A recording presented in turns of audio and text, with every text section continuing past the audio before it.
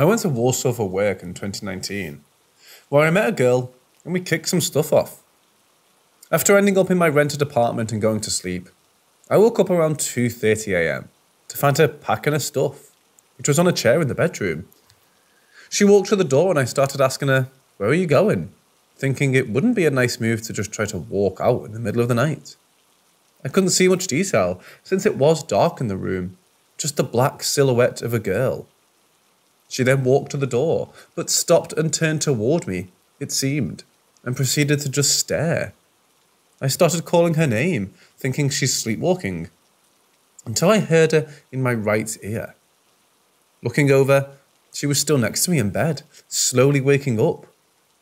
I looked back at the girl I saw, and she was still there.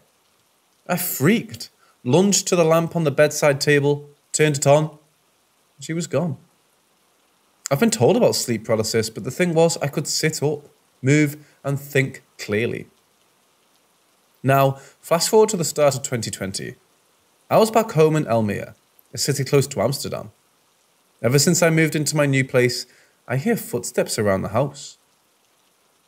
Once, while on a video call with colleagues in my office on the first floor, right across from the staircase, I could hear someone or something bolting up the stairs, straight through my headphones.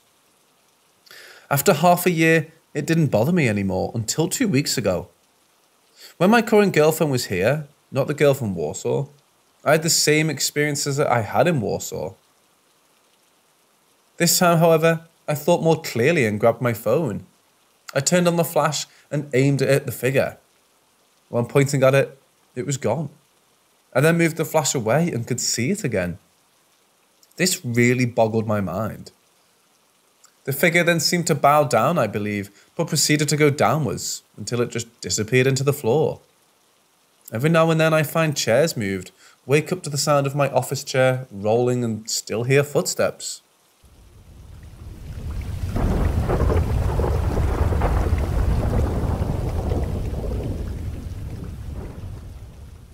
A small town in the mountains known for being built on the idea of riches from mining has had its fair share of different personalities. Some of these souls had moved on and others had gotten lost.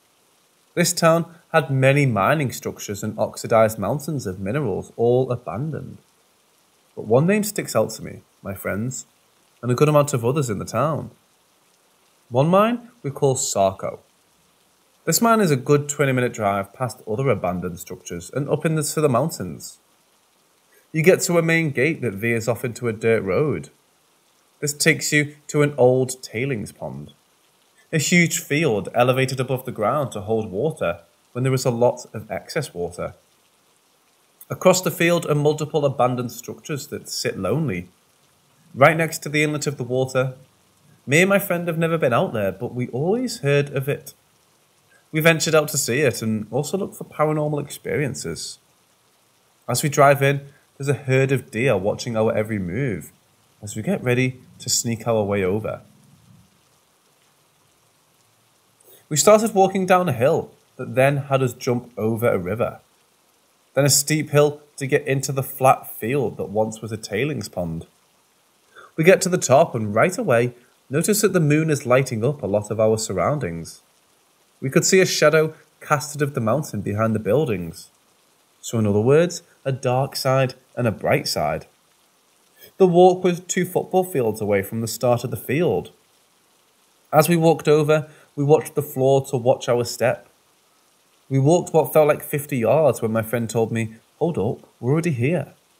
This spooked us out because it felt like we had teleported right to the base in a matter of a few steps. It was as if once we stepped into the shadow, the distance of walking was extremely tampered and felt unreal. We were looking to communicate with spirits and would hear taps on the building that would be a response to our questions. After that, we weren't experiencing too much paranormal activity, so we decided to leave. As we were walking out back to the steep and long slope, I started to hear an extra footstep behind us, almost as if we were being followed out or even escorted. I told my friend, and he heard it too. In my mind, I wanted to debunk it and see if it was all imagination, so I stopped on a dot and made sure right behind us one extra footstep as soon as I stopped. We looked at each other in shock, and I told my friend, let's stay calm and just walk out normally. Once we started climbing down the steep hill, it felt as if the presence of something had just left us. And as we were leaving in the car, the same deer herd watched us drive out. And a little farther down, one deer jumped in front of the car like one last go away from the spirits.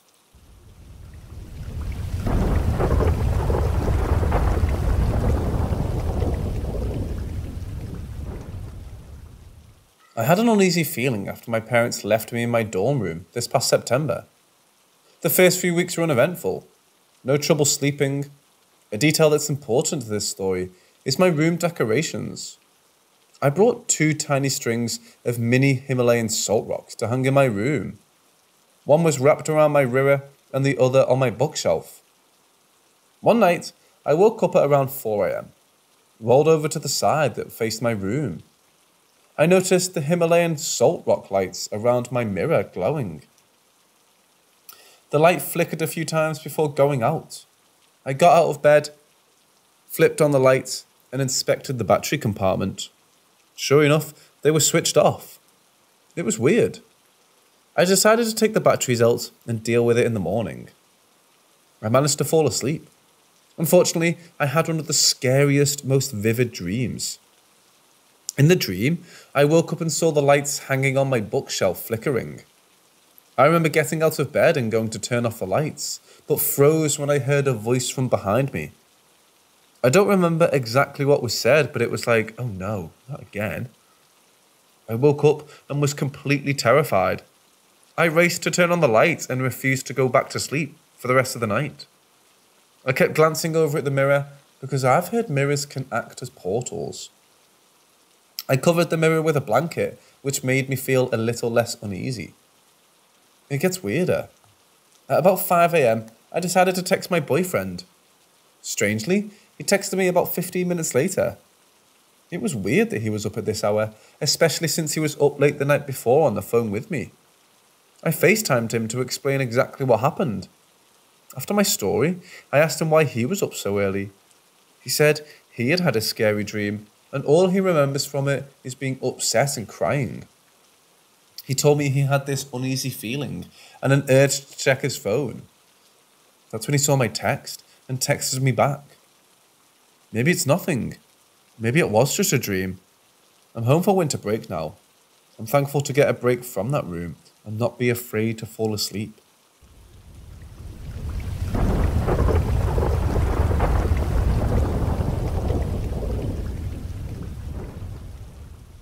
I've always believed in aliens, despite never encountering any myself. Until one night in July. These strange occurrences happened about two to three years ago in the southeast region of New Hampshire. I still can't explain what I saw, and neither can my mother. My mother and I got off work and drove down this back road. We were about five to seven minutes away from our house. I'm driving. We were approaching a hill that leads up to a long, narrow road through the woods. I see a bright light hovering about 20 feet above the house, perched on top of the hill. My mother notices it too. I turn off the radio and roll down the windows. No noise. I drove up the hill and noticed two cars stopped off on the side, looking up at the sky. I pass them and take a glimpse through the trees. I see a large square shaped metal object. There are circular lights shining from the bottom. My mum and I turned around in the first driveway we could find. 30 seconds, maybe less. We went back and it was gone. I was freaked out, but excited to have a UFO story of my own. The excitement gradually wore off the more frequently the sightings became. My friend and I were walking along the beach across from my family's restaurant. We saw a light hovering near the lighthouse. We assumed the light had stopped revolving since it wasn't moving. Suddenly, the light jolted forward and began flying around manically. It drove behind the houses along the beach and disappeared. At this point, I've had another person in my life experience separate events. I know it wasn't just a figment of my mom's imagination. My mother and I saw it about once a week for the next month after that. The light would be hovering in the distance, completely silent, and would disappear once we were too close. We chose to ignore it. As long as the light kept its distance, we felt moderately safe. Then came the close encounter. My mum and I got off work around 8 and returned home with a trunk of groceries. Our condo is at the very end of a cul de sac, and at the other end, a tiny hill with a line of tall trees. As we're bringing bags into the house, I notice a light off in the distance. The light starts getting closer and closer until it's above the tree line, which is about 100 feet, give or take, from where our car is and stops. My mum is frightened at this point. I tell her I'm done being afraid and stand there, waiting for the light to approach me. As I begin walking towards it, it zooms off to my left and disappears above the forest tree line. I was shaken. The light had stopped and seemed to be observing my mother and I until we took notice. Since that summer, we've never seen it again except for one other time, but we chalked it up to a drone. We've tried to explain it. Helicopters, but there was no noise. Planes, stopped moving randomly. Even drones, still didn't explain the uneasy silence, etc. We began to think it was trying to abduct us, or maybe it already had, and we had no memory of it.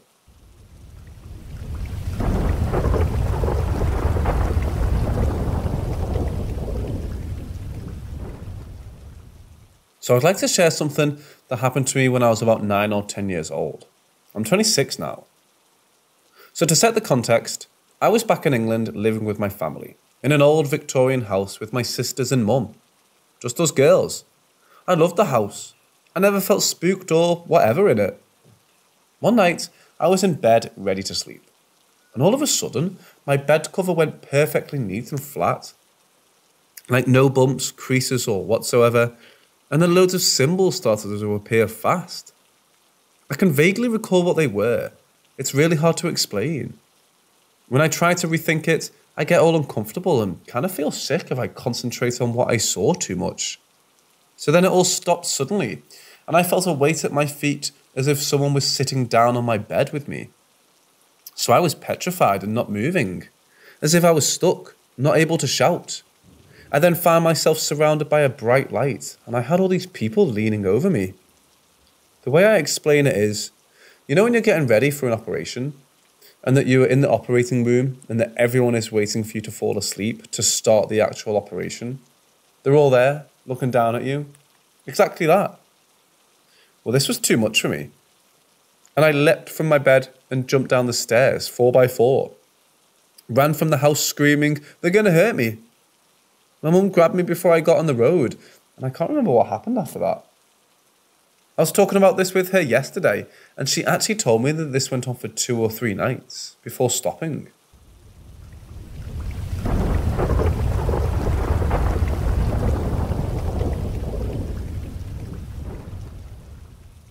My house has had portal problems for as long as I can remember. We don't have a haunting per se, since we believe it's a vortex of some sort of spirits and entities to cross through, so they come and go. But most stay a while before leaving, if they ever do. There's a cemetery up the street that I frequent often, and we speculate a possible connection between the two. I decided to compile a select few stories from over the years, in case it may interest someone, because it sure as hell interests me. My chest was getting very tight just typing this out. I'm aware I over explain things, but I think I'd rather provide more information than needed than less. Background My siblings, 27 male and 24 female, and I, 18 female, were raised in the same house since birth. My brother has since moved out twice, while my sister and I remain at home with our parents. We're all pretty intuitive and sensitive when it comes to energies, particularly my sister and I. Ever since we were all young, we individually decided that there is some sort of portal in our basement, which is now referred to exclusively as the hole. The hole resides in an unfurnished part of the basement, which was used for storage for the first 22 ish years of my parents owning it. It's an odd indent built into the wall that goes from floor to ceiling floorboard, just wide enough for a person to stand in, behind where the wall would be if it were built straight. It's in the far corner of the room, the only one not visible from the door. When it was in storage, the room connected at the opposite corner from the hole to our laundry room, like the corners of the room overlapped and formed a high doorway between them. Whenever I was young, for as far back as I can remember, I was petrified to go into the room whenever my mom asked me to get her something, or even to go into the laundry room without quickly switching on the light in the storage before running from the door as fast as possible, which was still extremely nerve wracking for little me. On the occasions I didn't turn on the light, I could feel something watching me intently from the opposite corner. Twice I saw what I think were glowing eyes in the dark. Around the same time as the aforementioned was occurring, I was having repetitive nightmares for years, until I was probably 9 or 10, I believe. It was the exact same up to a point. I was being hunted by a man with a half a face through an abandoned hospital. The only difference every night was that when he'd inevitably catch me, he would torture me to death in a new way, seemingly more sadistically each time than the last. I'd wake up just as I began to feel what I'm pretty sure was my life fading away. It felt so real, so painful, I'd wake up with marks occasionally that correspond to what had happened in the nightmare the night before. Take note, this was when I was five and possibly younger, to tenish. And my mother was careful to shelter me from violent media or concepts when I was young. So these ideas should not have been imaginable for me at the time. When I finally worked up the courage to tell my mum about my nightmares, she prayed over me and blessed me with holy water. Catholic moms, man. And within a week, her continuing to pray for it to stop, they suddenly disappeared. And I noticed the entity that was making me so petrified of downstairs was either gone or not showing itself. We came to the conclusion later that whatever it was had attached itself to me and was feeding off my fear of it through influencing my dreams. She thinks it was a demon, but I'm not sure of that. Small things happened over the years, but from the time I was around 10 to 13, it was nothing remarkable. When I was 13, my brother and his girlfriend moved in after she got pregnant in order to be able to provide the best for their child. We converted the storage room into an apartment for them. He finished off a small square of the laundry room to be my niece's room for the time, so the two rooms are no longer openly connected. We had barely ever entered the room in years, but it still had a very heavy feeling after so much time.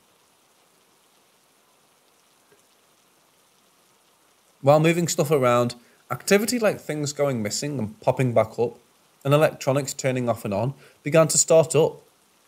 Whoever was there at the time, they didn't like being disturbed very much. After my brother and near sister in law got settled in, it died back down. Partially because they felt the hole was too ominous and covered it with particle board that remains there to this day, but stayed active enough to let us know something was still there. It would turn on flashlights that had dead batteries in them for the year before or require a hard push on. A button, and turn them off when you go to grab them. Set off my niece's electronic toys in the middle of the night, knock on walls, whisper, etc. We just learned to get used to it after a while of being in the room often.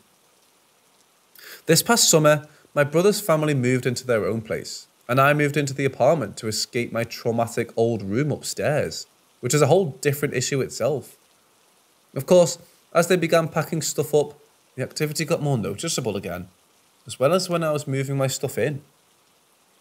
I've been here since about July, and I think I've experienced more activity in the room in the past four to five months than all of it in my life before combined. I began not only hearing them and seeing their influence on electronics more and more, but sometimes seeing figures and seeing them interact with non electronic objects, like opening and closing the doors in the basement when nobody's looking. In the beginning, the first I saw was when I rolled over at night and glanced toward the foot of the bed, towards the hole, where I saw the silhouette of someone's shoulders up for a split second. It didn't make me feel scared, just unsettled me for a moment, as anyone would if they saw someone in their room at night. The entities listen when you talk about them in the house, we can tell. So I talked to my sister about it the next day, and said something along the lines of, It's kind of rude of me not to have my couch in the room yet. You could have sat on the corner of the bed if you wanted. Well, the next night, I came back from the bathroom and opened my door to the dim light of my wax melter. And I swear up and down that I saw the dark figure sitting on the corner of my bed before flipping on the light after a split second. Obviously, there was no figure when the light turned on, but there was an impression of a butt on my bed sheets, as if someone had just been there. This confirmed they definitely listened to what we say in the house at least, but seem to be more responsive when not being talked to directly. So it's easiest to just talk about it with my sister to influence their behaviour. Every once in a while, I'll feel a new presence appear. One of the most noteworthy newcomers was a real dick to start. In the beginning of it, I'd feel a massive feeling of dread that someone was standing right behind the door to my room, about six feet tall. After a few times of just standing, he'd switch to walking down the stairs that are right by my room, but only the bottom six stairs, and then proceeded to stand at my door for minutes. This mostly happened at night, and when I told my family about it, my mom took me out of the house to tell me she heard it too, and I'm not crazy. She thought it was me going downstairs, but she waited to hear my door open and close. But she never did, because who she heard wasn't me. I think the worst time he got me was the last time he tried to mess with me. It was just about noon. I was watching TV in my room while home alone when I heard the sound of someone walking down the bottom half of the stairs. He stood at my door for a minute without making a sound before starting to slowly jiggle my door handle. I thought I was going to have a panic attack because the only exit had an unknown entity on the other side of the door. And I sat frozen for at least 15 minutes, just watching my handle jiggle until it stopped when my dad came home.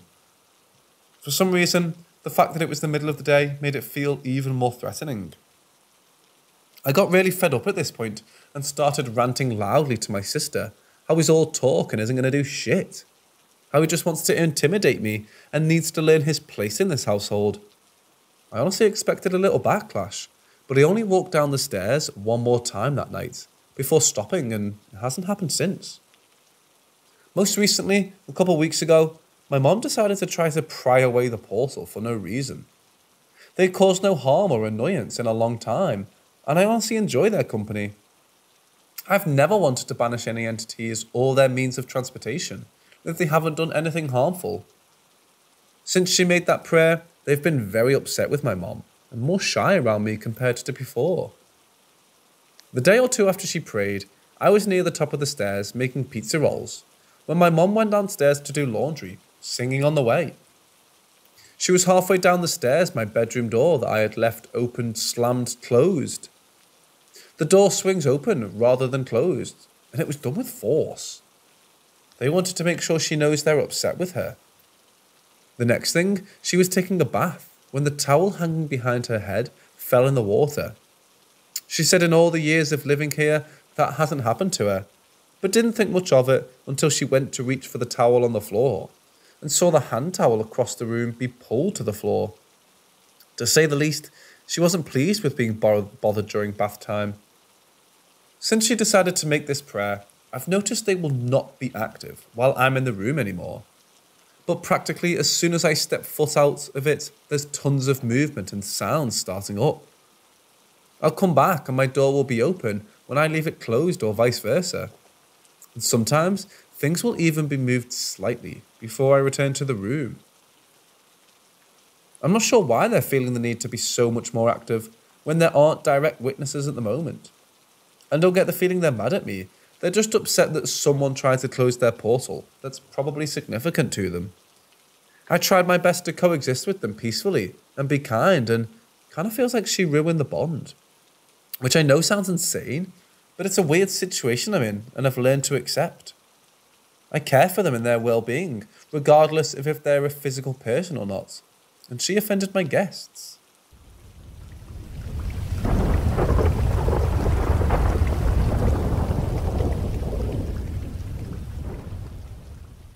So, about 10 years ago in 2011, I moved out of my family's house into my first apartment.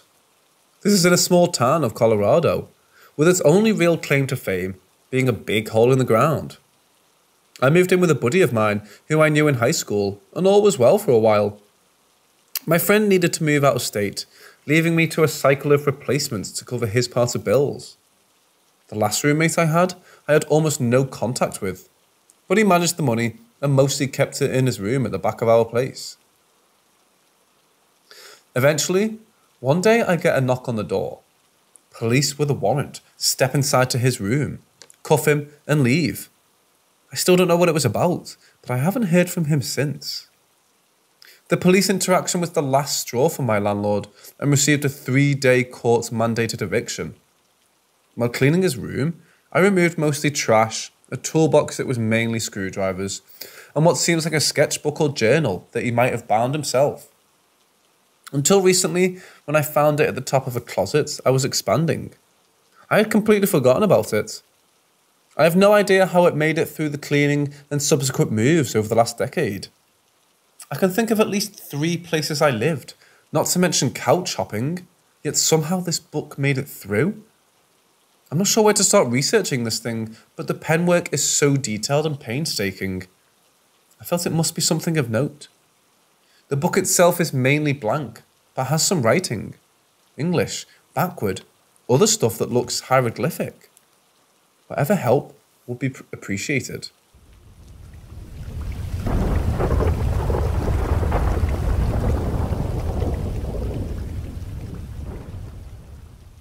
This story happened to me about 12 years ago.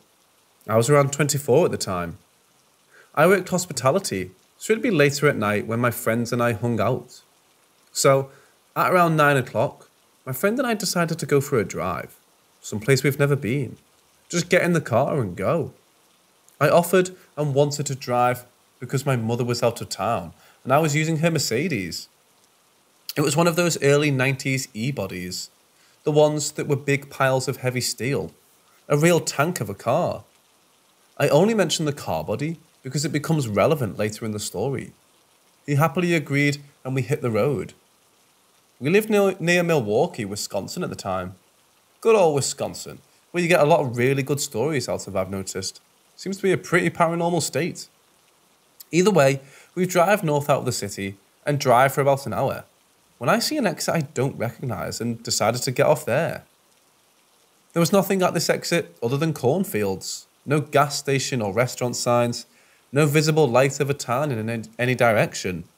So we were in a place we don't recognise. But that was the point.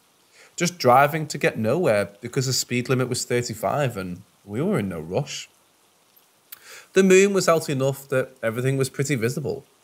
About a mile into the cornfields, we could see two kids on the right side of the road. We comment on how weird it is because there's no housing or stores or even lights on the horizon. Plus, it was 10.30ish at night. Naturally, there were two larger guys so we didn't worry about anything. So I slowed down so we could inquire if their car broke down or if they were okay. As we pulled up, I noticed the kid in front clothing. It was a stained cream coloured tweed type shirt with real tattered sleeves and overalls with only one strap. He appeared to be maybe 12 years old. The second kid was taller, wearing a red flannel type shirt with old times looking khaki pants. However, I could barely notice the taller kid standing further behind the smaller one, because as I pulled up, noticing the clothes, I got to see the whole child fully, and his arms were to the side, slightly raised, almost in that iconic zombie way. But his eyes, I couldn't take my eyes off of him, and I did my best to mutter to my friend, You're seeing this too, right? His eyes were pitch black, blacker than the night, but easy to see as he stood there staring at us. I didn't know what the heck I was seeing, but I've never been so frightened in my life, and I've had several odd experiences that have left me unable to deny that there is more in this world than what we understand. So we stopped for a moment, locking eyes with whatever this thing was. It was no child, it was evil. I have zero doubts about that. We quickly agreed to go, and fast, we're not going to inquire with them. This was straight out of the Twilight Zone. And I remembered the hitchhiker, and that was not happening tonight. No, sir. So we go and we clamour between ourselves. What the did we just see? What was that? What the hell was that? Still no signs of homes, just open cornfields. How these two kids be could be there, I don't know. But I believe those were not kids. So I keep driving, and we get out of the fields onto a wooded, windy road, shortly after probably around five minutes. Here in Wisconsin, there are random historical markers displaying information in whatever year has happened. I only mention that because I passed on the curve, so I glanced at that. As I'm driving through a curve going about 45 miles an hour, a creature walks in front of my car, my mum's car. As I saw it, it was nothing like I had ever seen. Its spine was tall, it stuck above the hood ornament as I hit it. It was a grey colour and looked like nothing I've ever seen. It had a very tall arch in its spine, almost like when a cat hisses and goes on its toes. That kind of shape, but in a very tall, gangly creature. I hit this thing straight on with the tank of a Benz. My friend is freaked out at this point, as am I to say the least. I stopped immediately, but now we're both a bit scared of the children of the corn. And now this thing is literally within minutes of one another. We decide getting out is not going to happen, but I decide to stay in the locked car but use the car and its lights to see what we hit and make sure whatever the hell it was is dead. And I needed to know what I just saw. I drive in tiny circles, backing up and forwards, looking for this creature. But after checking every inch within a hundred yards and not seeing anything, including not a drop of blood where I hit it, straight on with a Benz, making contact with its spine, body, and head anywhere. This was unnerving, and although I wanted to check my mother's car, that would be dealt with further down the road. We were not going to get out there, so we decided to head home at this point. Fifteen minutes later, I got back to the freeway and I needed to get out and see how bad the car was. As I got out to check, quickly as I was not taking any chances tonight, I noticed my grill was busted in, but nothing too bad. So I made sure it was secure and got back in as quickly as possible. My friend decided to stay inside the car. Recently, I heard of the black eyed kids and freaked out a little bit. I didn't know what they were a real thing. I thought I just saw a couple demon kids or damned ghosts, or I didn't know what to think. To this day, I've looked through tons of photos of supposed cryptid beasts and mythological creatures, looking for what I hit, and the closest I've found is some Algonquin drawings of Wendigos, and they were very close to what I believe I saw and hit that night. It seems to me very odd both things could happen so close to one another to not be related. Possibly it was an evil area, or possibly a ley line, I don't know. I would like to point out I've lived in Wisconsin a long time, and it was not a deer or a coyote or anything else. What I hit was nothing native to the known Wisconsin landscape, and neither were those horrid kids. I'll never forget either of those faces and just hope I never come across them ever again.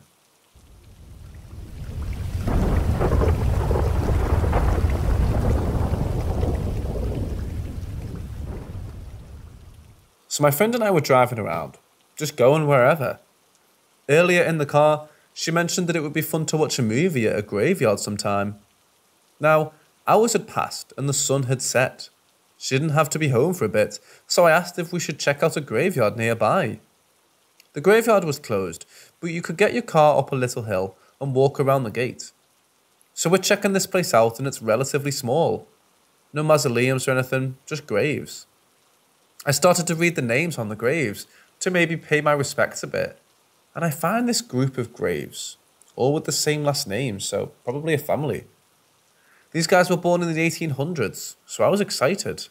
And then I found a guy with the same birthday as me.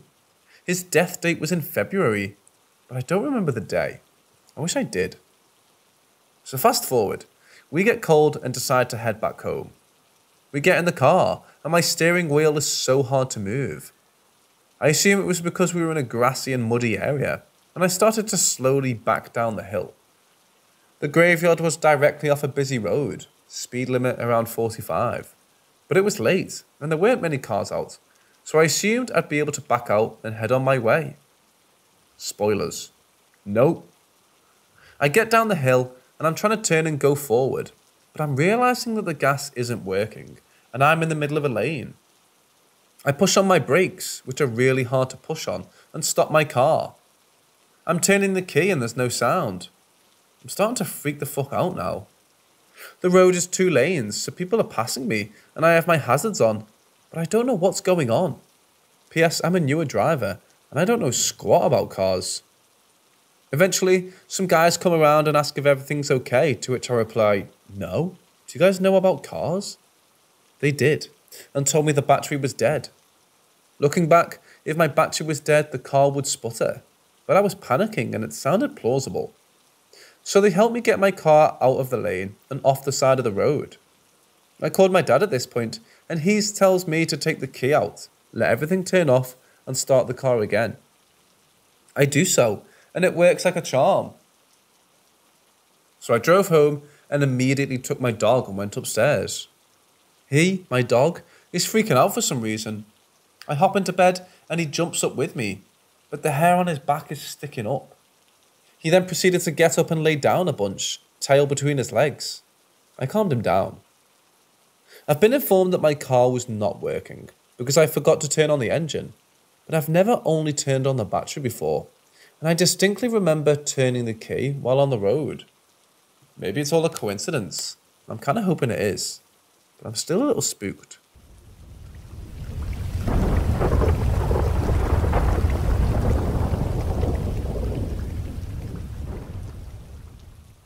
When I was between 8 to 12 years old, I grew up in a very haunted house.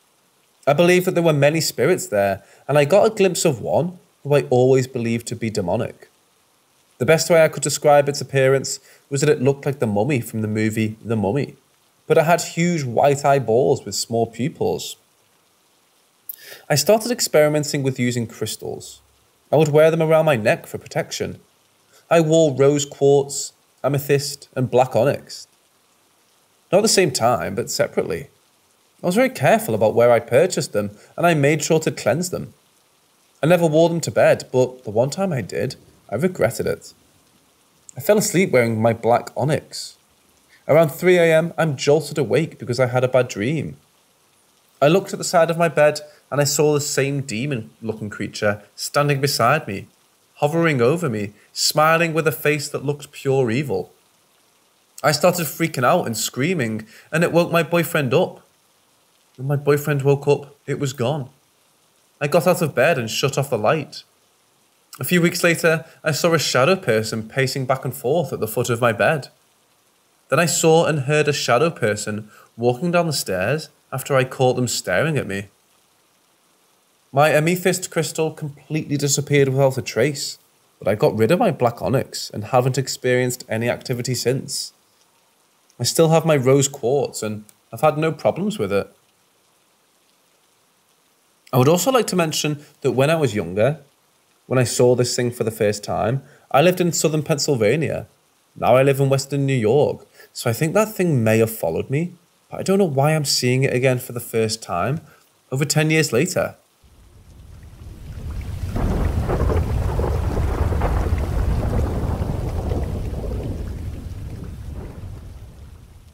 The unit I'm currently working on seems to have the most activity from my own personal experience. I've worked on all of the units, but on this one, I've seen the most. Almost every single day, I see shadow people. I catch glimpses out of the corner of my eye, or I just see a shadowy figure straight on. I work evening and night shifts. Strangely, I've experienced more on the evening shift. The unit I work on is also the COVID unit, so that might partly why it's more active. The COVID wing consists of two very long halls that meet together at a double door that leads to a kitchen area where there is also another residential room. Kind of weird setup, but hey, it works. My coworker was behind the double doors one night, taking care of one of the sick residents. But she had gone out of the kitchen area to take off her PPE. She saw and heard two children running around playing, but it was late at night and we weren't allowed to have inside visits. Turns out everybody at work says if someone sees the two children, that means someone is going to die. And it's true. We have a chapel in the nursing home for the residents, but it's behind two sets of double doors and the residents can't get in there on their own due to codes and locks. There is a set of stairs behind the first set of doors, and everybody has repeatedly seen a bald guy sitting in the chapel late at night through the window of the hall, looking into the chapel. We had a resident who used to be a child molester. One night, he woke up in hysterics and crying, absolutely unconsolable. He said there were children surrounding him, standing by his bed and laughing at him. He died the next day. I went into a residence room late one night during rounds at around 3 am. I was working on the dementia slash wander risk unit. I'm standing next to the resident bed and she asks, Who's that man standing behind the curtain? I didn't think much of it because she did usually hallucinate. But within an hour, two residents from different units passed away. And the resident I was with, roommate fell out of bed and got hurt really bad. Liked turning off by themselves consistently late at night when everyone was in bed what are your scary haunted nursing home stories?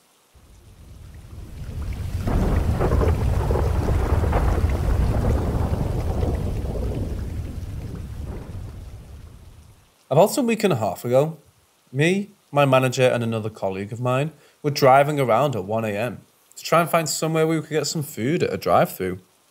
Every 24 hour McDonald's appeared to be closed, so we ended up driving 30 minutes away to try and find somewhere that was open. Eventually, we gave up and pulled up at a service station around 2 am.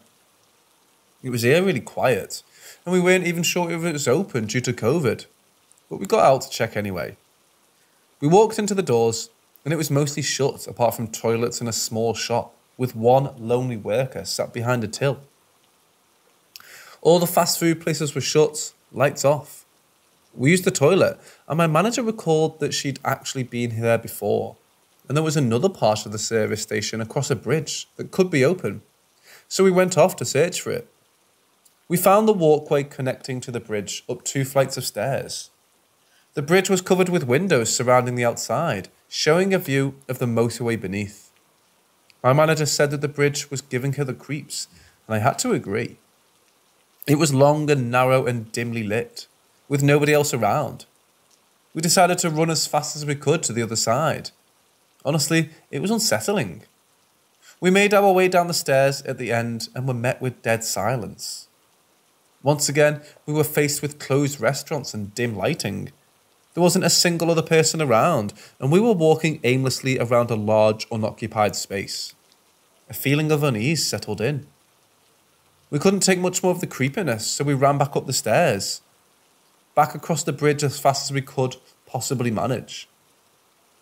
We caught our breath once we were back to the other side and commented on how strange the area had been. After that, we got snacks from the single open shop and walked back to the car to have a smoke. But the odd, chilling feeling remained with us. We all agreed that we felt as though a lot of time had passed, despite the whole thing taking around 20 minutes only. The car park was empty and the air felt off, like the pressure had shifted. That's the best way I can describe it. We went home after that and tried to sleep it off, but when we woke up, things still weren't the same. Since then, the world has felt off to all of us.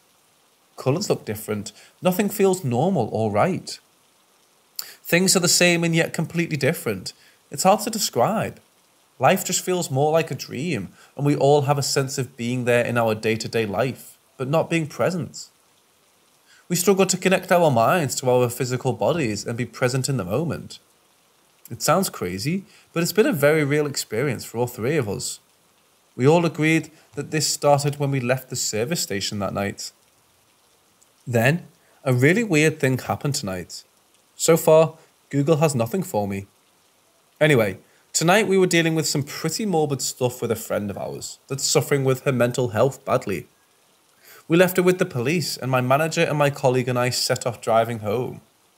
We discussed that night at the service station again noting that all the bad things that were happening with our friend and her mental health started after that. Other unpleasant events had followed as well, and we pondered the significance of our creepy adventure and the bad things that were happening now. I said, It's like since that night, nothing has been the same. And then the weird thing happened. We both started crying simultaneously, as if someone had turned a tap on for both of us. Water started leaking out of our eyes at exactly the same time, and we were so freaked. I felt a wave of sadness and emotion, but it wasn't enough to make me cry, and my colleague never cries. Ever. We're sure now more than ever that something happened that night. We just don't know what. We've joked about ending up in another dimension, and I don't normally believe anything like that. But this has me questioning because I'm honestly convinced that something isn't right. That we've encountered something that's changed all three of us. We just don't know what. Even as I write this, I feel off and a tad fearful. I have no idea why.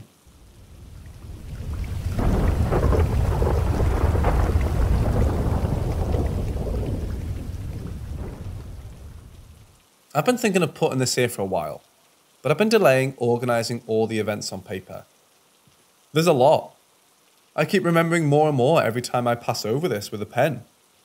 So I'm sorry if it's grown into a huge post, by the time it sees the light of day, so to speak. Basically, throughout my life, there's been a figure, or a few, following me from house to house, sleepover to sleepover, even appearing at work and school sometimes. I know what you're thinking. I promise I'm not crazy. It would be impossible for other people to react to these events too, if they were all in my head.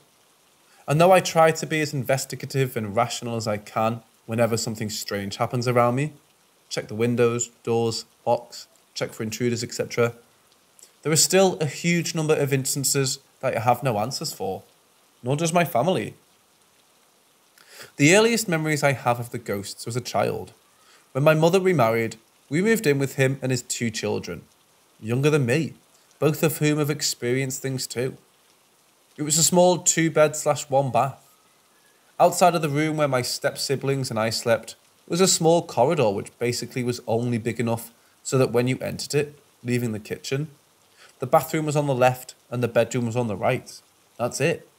And that's the spot I first remember seeing a man who would stand just outside the bedroom door every night. He was at least six feet tall, boots on with filthy pants that wrinkled loosely about his legs. I never saw what he was wearing up top, but I did get the impression he had great big eyes. I was too afraid to look at him directly. I still don't like to think about that face. We'd have the door cracked a bit for the kitchen light to come in at night, and he'd suddenly appear and block out that light. He'd just stand there, looking at us through the door. We'd call out to our parents, but there was never anything there to show them by the time they arrived from the master bedroom on the other side of the house. This and the typical shadow people stuff like leaning into doorways as well as items disappearing carried on for the next few years that we lived there. Whenever my cousins would come over for a sleepover, they would become nervous upon entering the house, as if they knew something was wrong. They started showing me pictures on their new camera phones. Remember when we called them that? Of orbs. I told them it was dust. They'd sometimes ask me if anyone else was home because they could hear voices coming from the next room.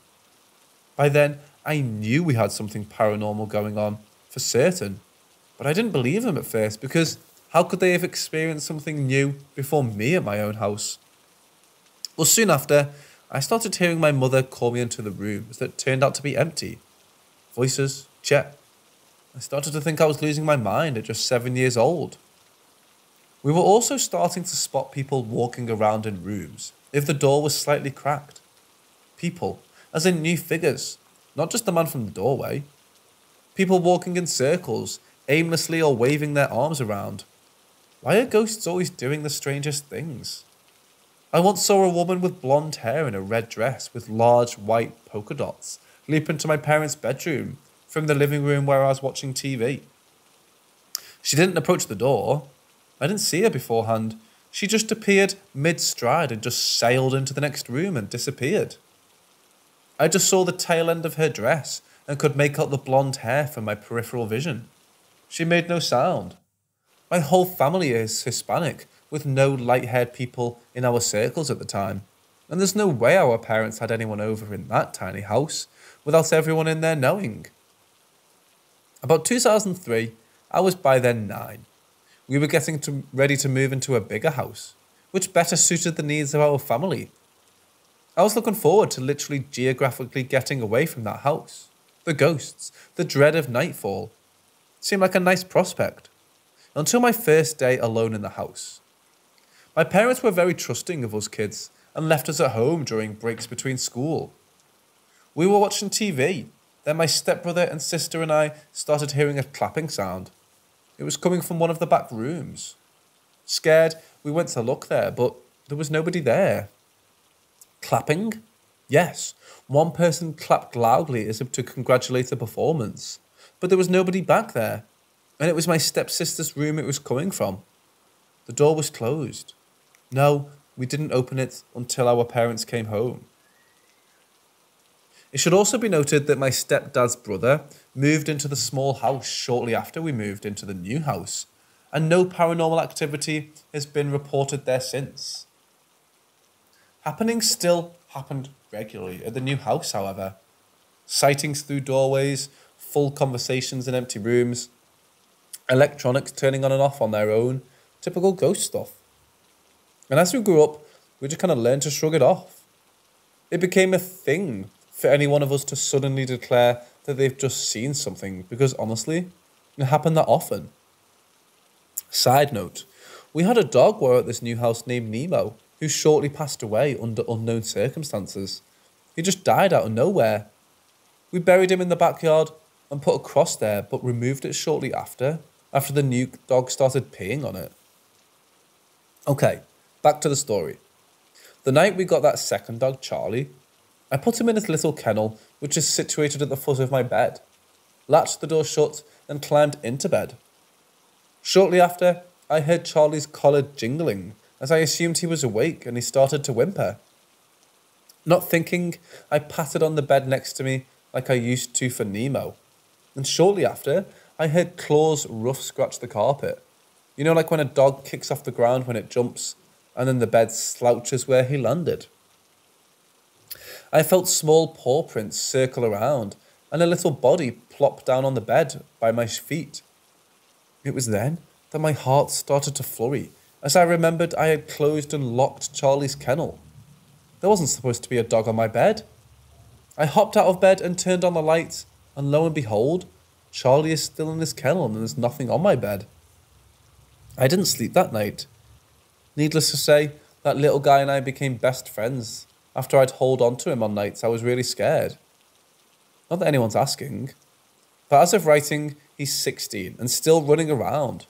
Old for a miniature schnauzer. Probably not related to the ghost stuff, but it's abnormal enough for a dog of this type, so I thought it was worth pointing out. Around this time, circa 2009, something new had started to occur.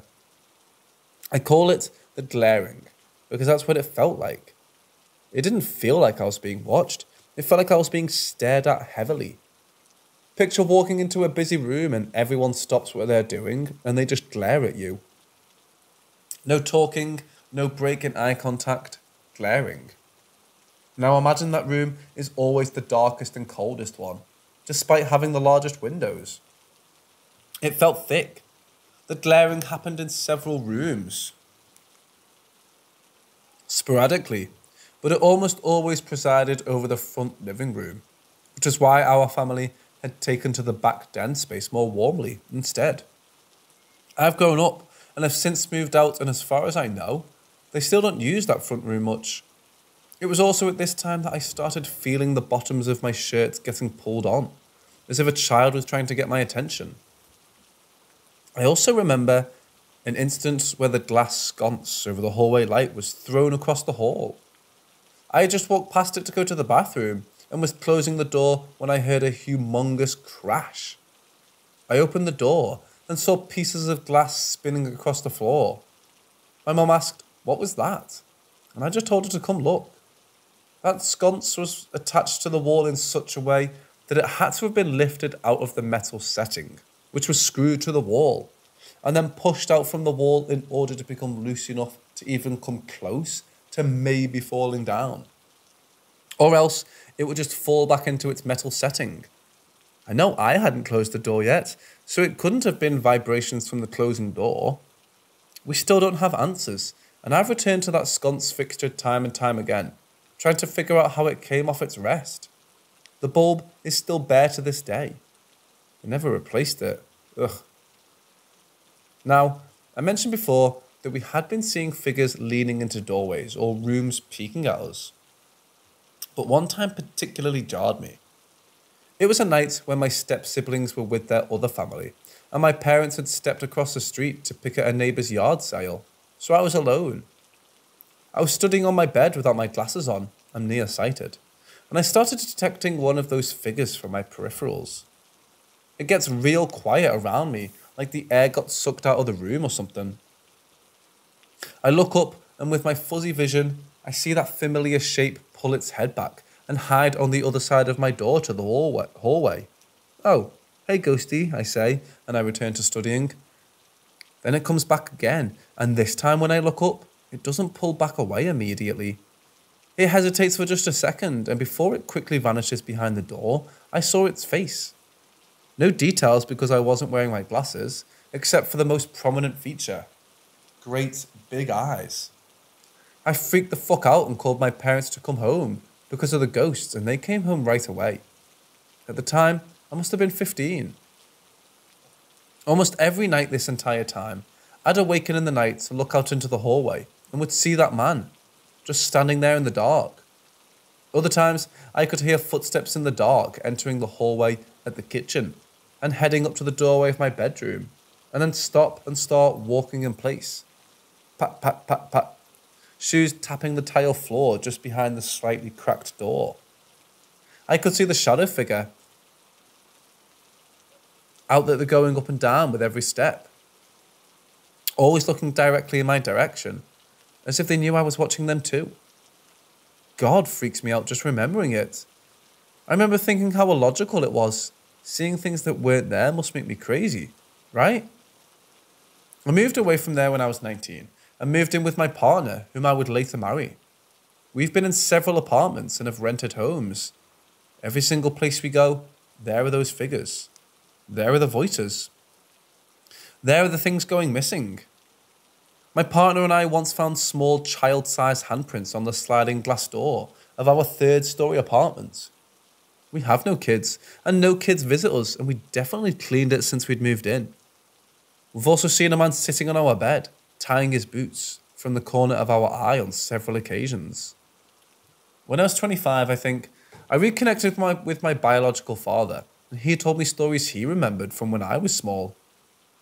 It was just him, my partner, and me having some breakfast at Denny's or IHOP or something. It had been since I was three or four years old since I had seen him. He was telling me about times I would wake up at night and he'd pull out some crackers and cheese for me to eat as a midnight snack without my mom knowing. I digress. He continued into some weird things that happened when I was little. He said that on several nights he would come into my room to check on me sleeping, and he'd hear me talking as he approached. As he got closer, he said he almost thought he heard a voice say something back to me. That's when he charged into the room and asked who I was talking to. He said that I didn't know, and he, out loud, told whatever was there to leave me alone and to leave us in peace. I guess it did until he was out of the picture and the new stepdad took his place. That story sent shivers up my spine, not because I remember it, because I don't. But in the back of my mind, I always knew there had always been something watching me. Ever since the corona lockdowns have been a thing, and now that we're spending more time at home, we're noticing less and less activity going on. While it's been an extremely unsettling journey with these entities, none of us have ever felt at risk of harm, and so have never sought help to rid ourselves on them. It's just now surprising, that's all. It's been so many years. We still hear talking and movement in other rooms. The sounds of fabric, like someone's clothes as they moved about the room, can be heard midday. It's all just nuts.